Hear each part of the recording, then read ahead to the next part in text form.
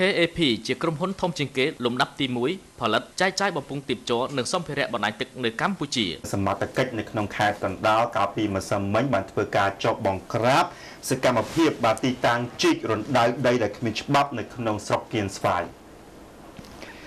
ទីតាំងបើកអាជីវកម្មជីករណ្ដៅដីមួយកន្លែង ស្ថិតនៅក្នុងភូមិជ័យឧត្តមឃុំសំរោងធំ ស្រុកគៀនស្វាយត្រូវបានអាជ្ញាធរដឹកនាំដោយលោកជឹមសុខុនអភិបាលរងខេត្តកណ្ដាលចុះបង្ក្រាបនិងរឹបអូសបានគ្រឿងចាក់និងសម្ភារៈមួយចំនួនកាលពីម្សិលមិញក្រោយពីរកឃើញថាគ្មានច្បាប់អនុញ្ញាត លោកជឹមសុខុនបានឲ្យដឹងថា តាមបញ្ជារបស់អាដាមបណ្ឌិតម៉ៅភិរុនអភិបាលខេត្តកណ្ដាល លោកបានដឹកនាំកម្លាំងចុះបង្ក្រាបរឹបអូសបាន excavator ចំនួន2គ្រឿង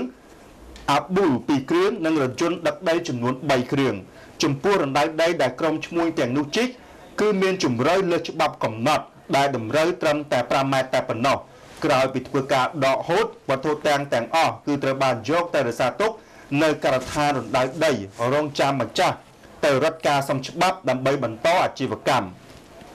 ជាមួយគ្នានេះដែរលោកស្រីបុត្រវណ្ណាមេឃុំសំរោងធំក៏បានឲ្យដឹងផងដែរថាម្ចាស់អាជីវកម្មនឹងគ្រឿងចាក់ខាងលើ មានឈ្មោះប៊ុនបារាំងភេទប្រុសអាយុ58ឆ្នាំមានទីលំនៅនៅភូមិជ័យឧត្តមឃុំសំរោងធំស្រុកគៀនស្វាយម្ចាស់អាជីវកម្មមួយនេះគឺមានច្បាប់ធ្វើអាជីវកម្មក៏ប៉ុន្តែហួសសុពលភាព ហើយម្ចាស់អាជីវកម្មមិនទៅបន្តច្បាប់ទើបអាជ្ញាធរអាជ្ញាធរ បាទទើបអាជ្ញាធរនៅក្នុងខេត្តកណ្ដាលចុះមកបង្ក្រាបតែម្ដង។